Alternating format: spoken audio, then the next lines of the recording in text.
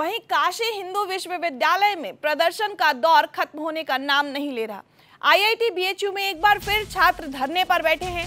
शांतिपूर्ण ढंग से धरना दे रहे छात्रों का कहना है कि अभी तक पुलिस इस घटना में लिप्त लोगों को नहीं पकड़ पाई है।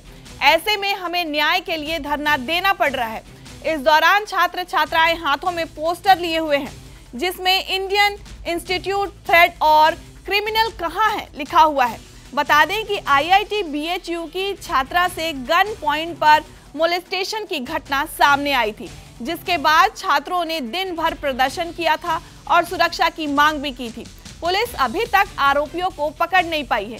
विक्टिम के कमरे में लगातार पुलिस को आवाजाही करते हुए देखा गया है। आशंका है कि पुलिस गड़बड़ी कर रही है। छात्र ने बताया कि पुलिस से गिरफ्तारी के बारे में पूछा जा रहा है तो वो कह रही है कि तीनों को एक साथ पकड़ेंगे। आखिर अलग अलग पकड़ने में पुलिस को क्या दिक्कत है? ये हमारी समझ से बाहर है। आईआईटी के स्टूडेंट्स ने कहा कि जहाँ कैंपस में दीवार की मांग की, वहीं बीएचयू के स्टूडेंट्स ने इस मांग पर पहले आक्रोश, फिर सद्भावना मार्च निकाला और दीवार को जिन्नावादी सोच बताया था।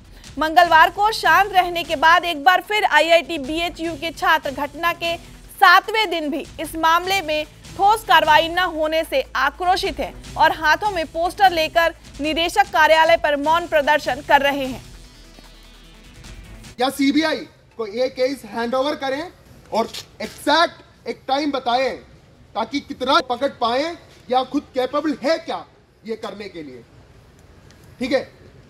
तो ये अभी जो मूवमेंट इधर हो रहे हैं, ये बिल्कुल साइलेंट एंड पीसफुल मूवमेंट रहेगा।